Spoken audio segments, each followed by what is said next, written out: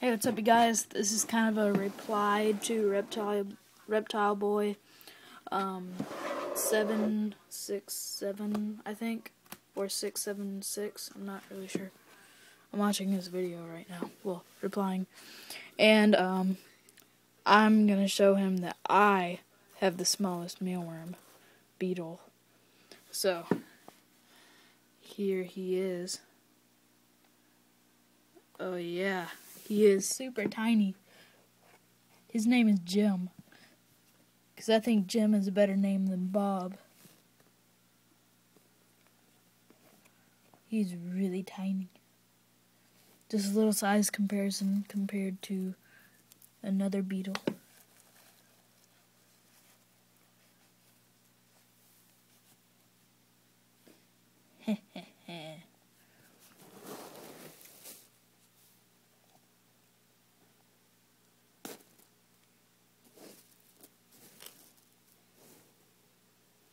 He fell.